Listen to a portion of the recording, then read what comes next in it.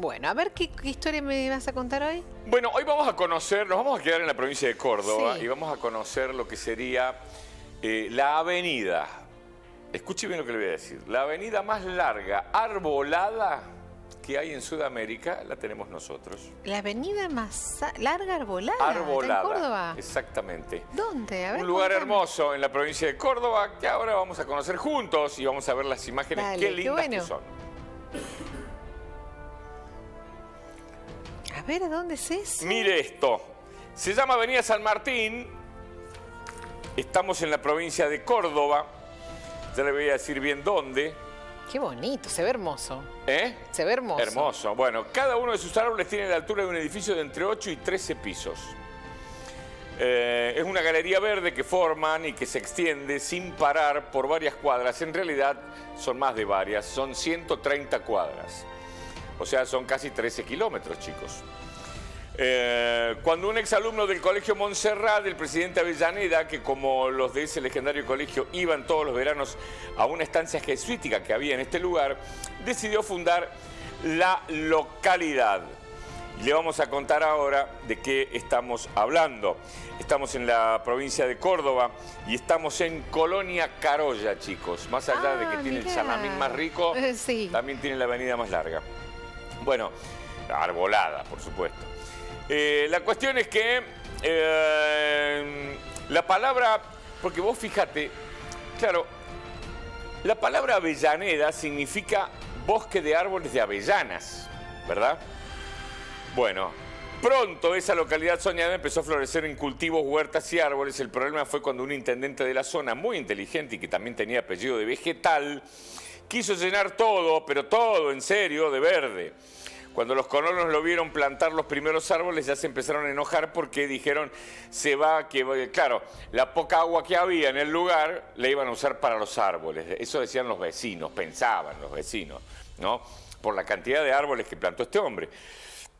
La cuestión es que eh, cuando vieron que el intendente Céspedes, ese era el apellido, por eso tenía nombre de otro vegetal, plantó 2.450 árboles a lo largo de 13 kilómetros, más bronca les dio.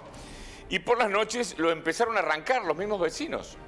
Porque decían, van a usar el agua, que tenemos poca, para regar los, los árboles. Bueno, Céspedes, que con ese apellido parecía estar predestinado a hacer historia en el mundo de la botánica, cada mañana los volvía a plantar. Perdón, estuve bien con el- la metáfora, le agradezco, Marconi. Oh. Este, lo volví a plantar. A pesar de que los vecinos se los volvían a arrancar. No, mire, mire sí. qué buena. Perdón que te corte, pero qué buenísima. Mirá lo que es esa imagen. Es tremenda esa imagen. Mirá lo que Sí. es. Pareciera que no termina nunca, ¿no? Allá atrás. Bueno, la cuestión es que hoy forman esta avenida llena de árboles, que es la más larga de Sudamérica, una de las mayores del mundo. Muchos no la conocen o no la valoran.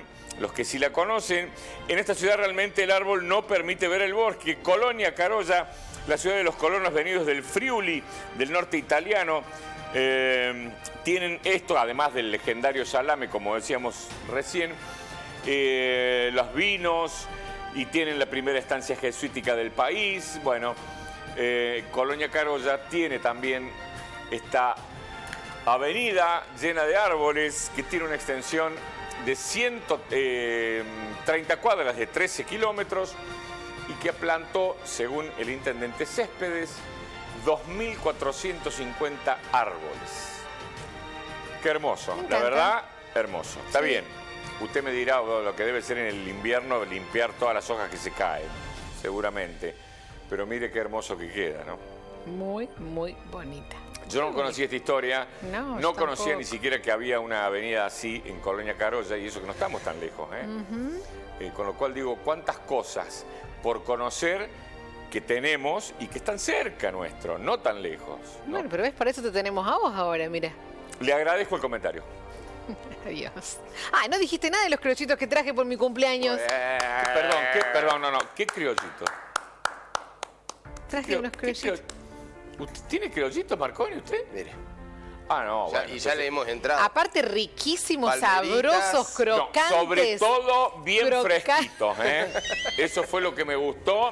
Perdí Bueno. Recién dientes, salidos, bueno, qué sabroso que recién estaba. salidos del No le- horno, no le pida Sí. tanto, no le pida calentitos, De esos así que vos mordés y pff, se No, desarman de recién la- salió del horno de acá, porque si no lo calentábamos no se podían comer. Así se lo digo. Discúlpeme que sea tan franco, pero se lo tengo que decir de esa manera. De todas maneras, valoro Valore. el, Muy bien. la actitud. No fue torta, bueno, no fue torta, no fue torta, pero... miserable que tuvo porque lo compró por dos mangos. No importa. Sigo valorando la actitud que ha, que ha tenido para complacer a todos, porque trajo muchos, ¿eh? Sí, y sí.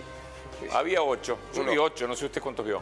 No, no, mucho. mucho. Ah, había más. Claro, No, un no, gorda, te quiero un montón. Me pareció bien. bárbaro lo que Es hiciste. el gesto, es el Sí, gesto, el Mariana. Ay, eso quería, eso que quería, que lo dijeran en cámara, todo Es esto. el, es el gesto.